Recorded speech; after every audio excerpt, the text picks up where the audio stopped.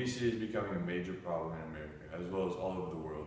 People prefer eating poorly and being lazy rather than eating right and staying active, which is understandable considering the fact that you can go to McDonald's or any other fast food restaurant and get cheap, unhealthy food at the snap of a finger. Rather than your average healthy person who stays active and eats right. If somebody replaces one meal from McDonald's with a salad or a bowl of fruit, that person would feel a lot better by the end of the day. That feeling is addicting. So that person will probably con- continue to do that until he completely stops eating fast food. So let's stop, let's get up, eat right, stay active, and stop obesity and take the day on one step at a time.